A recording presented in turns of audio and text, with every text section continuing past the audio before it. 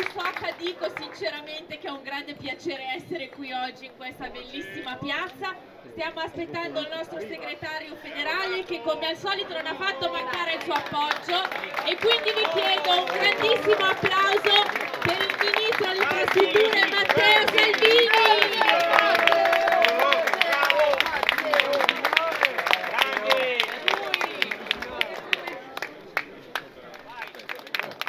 non straordinario, un falme mestè, eh, ministro delle infrastrutture e dei trasporti deve sbloccare i cantieri bloccati, il panettiere fa il pane, il gelataio fa il gelato e l'insegnante insegna, eh, nella speranza che in classe ci sia gente che rispetta l'insegnante e su questo devo dire che il nuovo ministro della scuola ha chiarito le regole, si rispettano gli insegnanti e qua faccio un po' il papà perché vedere quelli che sparano a pallini e poi lo mettono anche in rete, insomma, c'è qualcosa, c'è qualcosa da, da, sistemare, il rispetto non lo puoi mettere per decreto, il rispetto dovrebbe partire da casa, da mamma e papà, perché ai miei tempi quando andavo alle medie e portavo a casa la nota, quando andavo al liceo e riempivo i libretti di giustificazioni facendo la firma di mio padre anche se non ero ancora maggiorenne, quando mi ha beccato ho passato dei quarti d'ora non particolarmente felici e non era colpa della maestra, del prof o del preside.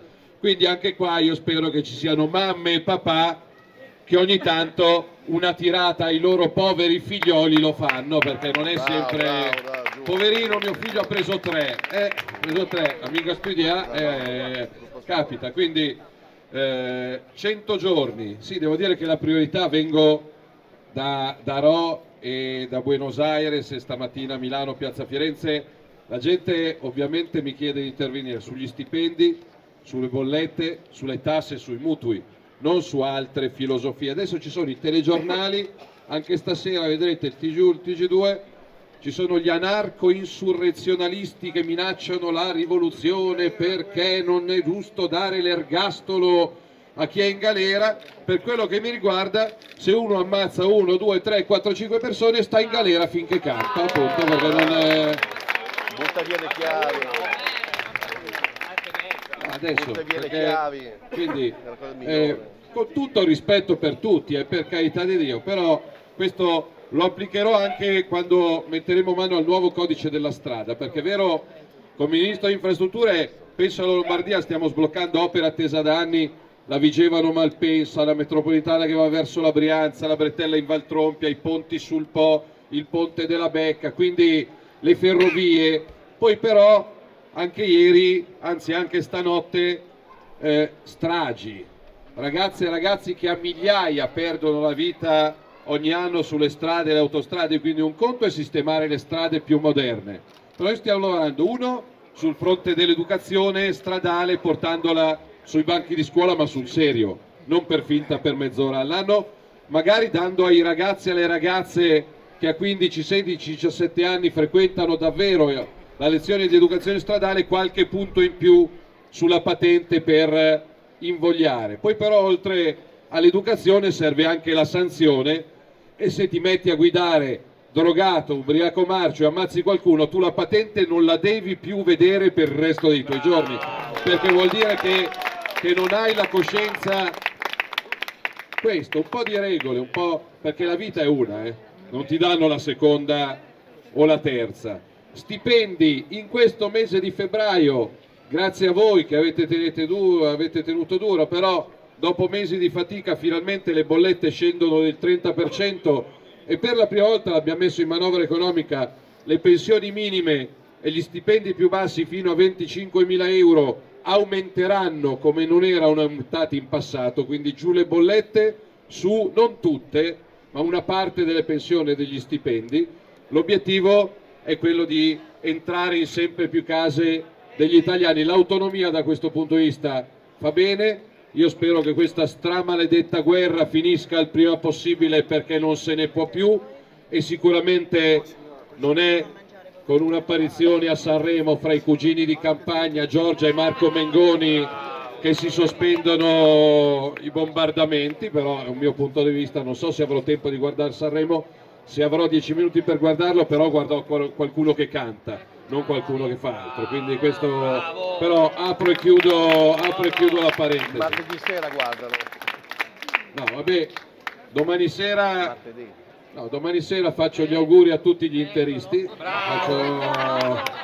E il derby è già vinto ragazzi, non c'è neanche bisogno di giocarlo. Il derby, il derby è già vinto, noi milanisti siamo rassegnati, un po' come il PD alle regionali in Lombardia. Insomma, eh, partecipi per partecipare, però dai, un sorriso... Un... Chi? Il Milan? Mai dire mai signora. No, il Milan il derby lo può vincere, il PD le elezioni no, questo è poco mai sicuro. È... Comunque dai, un sorriso al sabato, al quinto incontro sia consentito. L'ultima riflessione, lo dicevo Fabrizio, innanzitutto grazie, permettetemi di dire grazie e l'applauso fatevelo voi perché fermarvi con un bel fresh un sabato sera così in tanti a Legnano mi dà e ci dà una forza incredibile, quindi grazie a tutti voi. Grazie. Grazie di cuore. No, perché, perché non è scontato, noi potremmo avere le idee migliori al mondo, però se fossimo qua da soli invece vedere tanta gente che si ferma durante il passeggio è qualcosa che ci dà forza. Secondo, cosa potete fare voi? Dammi il volantino. Questi, nel senso che io eh, fra Roma, Milano, oggi Ro, poi Inzago, poi Palazzago, poi sarò a Lainate, poi insomma le giriamo. Io sto facendo sopralluoghi cantieri, caserme, scuole, tribunali, metropolitane, ferrovie, rotonde autostradali, anche perché ogni cantiere che sblocco non è solo un po' di sicurezza per gli automobilisti in più, ma è tanto lavoro per gli operai. A me portare a casa lo stipendio per un operaio, per una donna o per un uomo, per me è, è importante, quindi lo sto facendo con assoluto entusiasmo. Vedrete che nelle prossime settimane, grazie al nuovo decreto sulle ONG, anche i confini italiani torneranno a essere protetti dagli sbarchi perché non se ne può più, non se ne può più. E lo dice uno che per averlo fatto va a processo, però io ci vado a testa alta, un po' mi gira in Balper, eh, confesso, eh, però perché una volta al mese andare a Palermo sul banco degli imputati per aver fatto il mio dovere mi sembra, però comunque mia, mia nonno mi diceva male non fare, paura non avere, quindi andiamo avanti. Abbiamo cominciato da tre mesi, sono contento, per carità miracoli non ne facciamo in tre mesi e, e non siamo dei geni e non siamo infallibili, però devo dire che ho trovato una squadra di governo compatta, coerente, dobbiamo evitare di abboccare qualsiasi polemica e soprattutto a sinistra se ne sono resi conto, noi andiamo a governare avanti non per 5 mesi ma per 5 anni, costi quello che costi. 5 più 5, come gli affitti, 6 più 6. Facciamo, a proposito di affitto, oltre il codice degli appalti che stiamo cambiando, il codice della strada dal mio ministero dipende anche il settore della casa ed è uno dei temi su cui lavoreremo perché ormai prendere una casa in affitto, soprattutto a Milano e provincia, a Ro, Legnano, Milano, costa un occhio della testa, quindi nell'arco dei cinque anni, se il buon Dio me li darà, un nuovo piano casa per mettere a disposizione migliaia di case per chi non può permettersi un affitto di 1000-1500 euro al mese è qualcosa che vogliamo portare a casa e sulle case popolari ovviamente continuare a sgomberare quelli che non hanno diritto di occupare una casa popolare al posto di chi la sta aspettando da tempo. E questo per, per rispetto. Quindi abbiamo un po' di tempo. Voi cosa potete fare? da qui a domenica prossima parlare. Perché se fate un esperimento stasera se siete a cena con gli amici, con i parenti, con i colleghi o domani a pranzo qual è il problema? che siccome le grandi televisioni tranne chi è qua oggi non stanno parlando del fatto che a Legnano si vota domenica prossima, voi fate l'esperimento perché io sono convinto che se fermate 10 persone, adesso lungo il viale o in farmacia o in panetteria o da intimissimi o tezeni, belle vetrine però qua ci sono. Però se chiedete a 10 persone, scommetto che 5 diranno ma perché domenica si vota? Abbiamo già votato, abbiamo votato a settembre, abbiamo già vinto le elezioni, perché c'era Salvini a Legnano? cosa succede? Cosa si vota per il comune, per il condominio Ocio?